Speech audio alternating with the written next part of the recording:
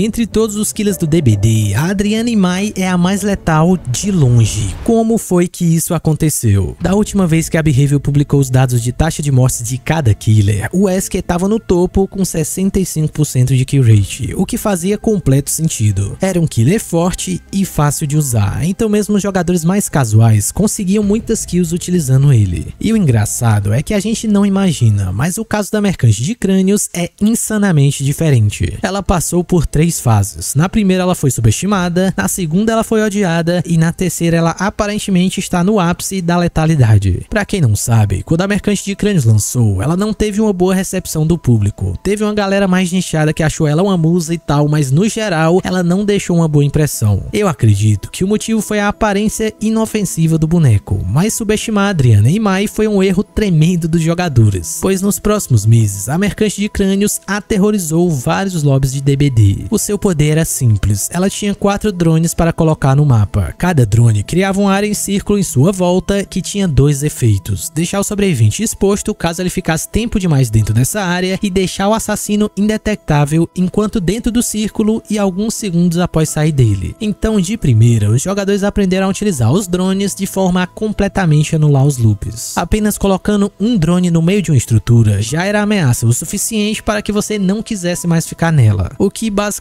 removia uma das interações favoritas dos sobreviventes, o loop. O assassino ele também tinha um sistema de rastreamento para ver a localização dos sobreviventes que desativavam o drone, ou que estavam ao menos dentro da área de um drone. E logo logo, os jogadores mais sarués de Adriana perceberam o efeito maligno do seu poder. Os drones não só anulavam loops, eles também ajudavam a estender partidas através do trigen. Como você tinha quatro deles, você poderia colocar um drone em cada um dos três geradores, assim protegendo eles durante uma partida inteira. E geralmente seriam três geradores próximos, o famoso trigen. E como eventualmente os jogadores iam precisar fazer um desses geradores, a mercante de crânios forçaria você a um jogo bem maçante. Você poderia perder um tempo removendo os drones e tentando fazer gerador, ou poderia aceitar ficar exposto e correr o risco de ser pego de surpresa por uma Adriana sem raio de terror. A verdade é que não importa o que você escolhesse, era um Kobayashi Maru, um problema sem solução, pois a Adriana ia chegar, chutar o gerador e já era o seu progresso. E se você tivesse lá moscando, ainda ia tomar um insta-down. Eu passei por um bom tempo tendo partidas longas contra as Adrianas, bicho, pois eu sou cabeça dura e queria sempre insistir em fazer geradores. Engraçado é que às vezes o time engajava de uma forma que eu nunca vi em partidas solos, todo mundo correndo antes dela vir e voltando pro gerador assim que ela saía. A emoção e o trabalho em equipe eram insanos até que viesse a derrota iminente. Não tinha o que fazer. Na briga do cansaço, a Adriana era maratonista e o sobrevivente solo era precoce.